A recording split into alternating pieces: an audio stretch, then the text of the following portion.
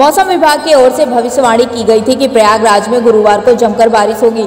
पर ग्रामीण इलाकों में गुरुवार रात को घंटों बारिश हुई, जिससे जगह जगह पर बारिश का पानी इकट्ठा हो गया। पर शहरी इलाके के लोग बारिश का दिन भर इंतज़ार करते रहे, लेकिन बारिश की एक फुहार तक नहीं पड़ी। वहीं आज शुक्रवार को सुबह से बादल छाए हुए हैं। लोगों को आज भी बरखा रानी का इंतज़ार है। इधर छिहत्तर प्रतिशत तक आर्द्रता होने के कारण लोग उमस से भी परेशान है।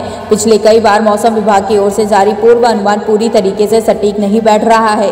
आपको बता दें कि मौसम विभाग की ओर से 20 से 21 जुलाई को प्रयागराज में भारी बारिश की भविष्यवाणी की गई थी, पर ऐसा नहीं हुआ। वहीं ग्रामीण इलाकों में गुरुवार रात घंटों बारिश हुई।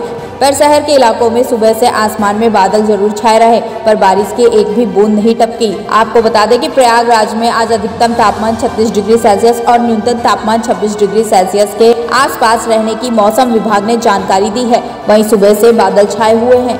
वहीं आने वाले शनिवार को अधिकतम तापमान 36 डिग्री सेल्सियस और न्यूनतम तापमान 26 डिग्री सेल्सियस रहने की उम्मीद है। मौसम विभाग की माने तो आज भी भारी बारिश की उम्मीद है। शाम तक तेज बारिश हो सकती है। ब्यूरो रिपोर्ट आई